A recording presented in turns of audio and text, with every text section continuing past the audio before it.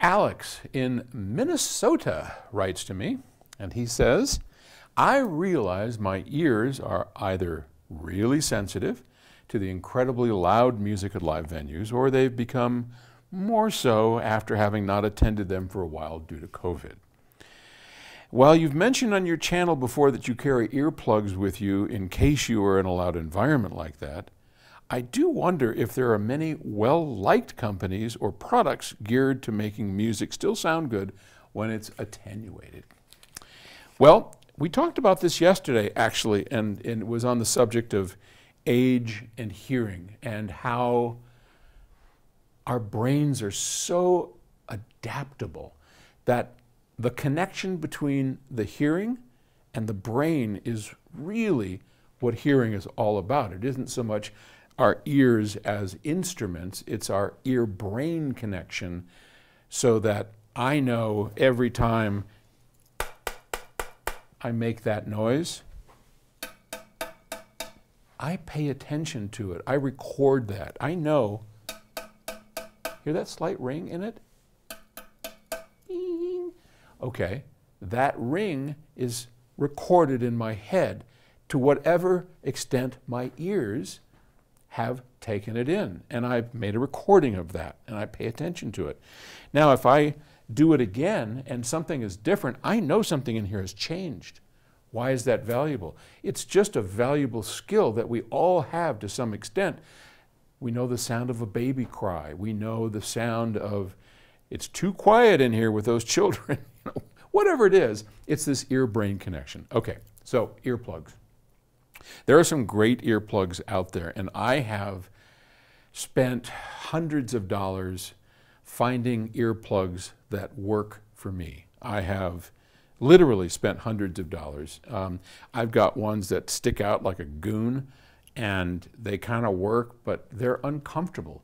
I have ones that slide into your ear and push in and they are comfortable. You can't see them, but they don't attenuate enough. And I wind up pulling them out after a concert and I get ringing in my ears. And ringing in your ears is, unless it's tinnitus, but which is a natural thing that uh, all I have some I have tinnitus that that that sound and that you, you get it with age it just comes but ringing in the ears after a loud event that's not good and you have to be protective of your hearing so I'll tell you what here's what I've done after hundreds of dollars after so many experiments with earplugs that I can't tell you and then forgetting them. I mean, I got them here. So on my keys, I have this little, and, and this has a pair of earphones in here, or head, yeah, earplugs, uh, that I can unscrew. But it's so small that I usually can't get the other one out of there. I get the first one, but I can't get the second one out of there.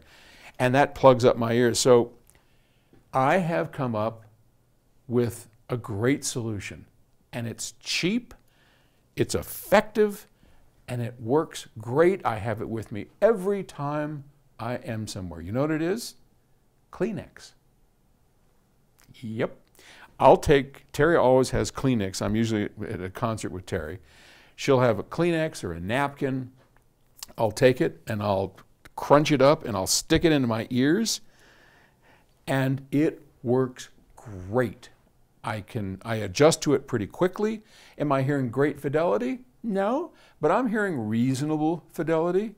We were just at the Lion King, and most indoor spaces, like at the Denver Performing Arts Center where we were watching the Lion King, which is a, which is great. How those guys get up on their, you know, those giraffes, man, that that's amazing.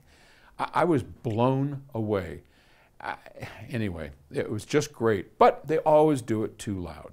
Always. I don't know. I, I swear to God, sound reinforcement engineers have to be deaf. I don't get it. I don't get it. And nobody else seems to pay attention to it.